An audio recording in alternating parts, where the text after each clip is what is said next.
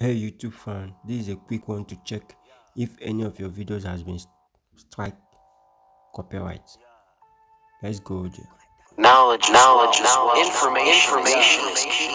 Trending, trending, entrepreneurship, entrepreneurship and investing. Welcome, welcome to Eunice TV.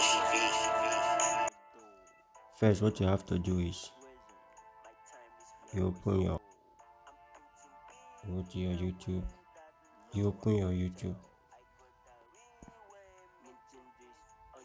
That's it. You click on your profile, come to your channel, manage videos. You click on manage videos. Then you scroll down. You'll be checking your videos.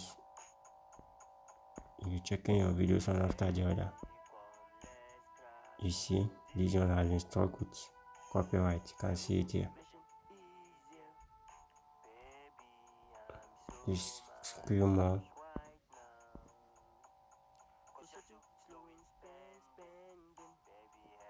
just be looking for them under the view. Under this view. You'll be looking for them here. Looking for them here anyone that has been struck with copyright that's where you find it. Look at this one. That has been struck with copyright. You can see it. This one is age restriction.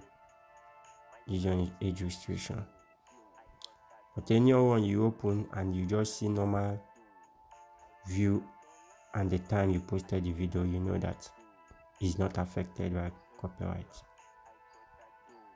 find it on there so guys this is how to know if your video has been affected by copyright. Thank you guys. See you on the next one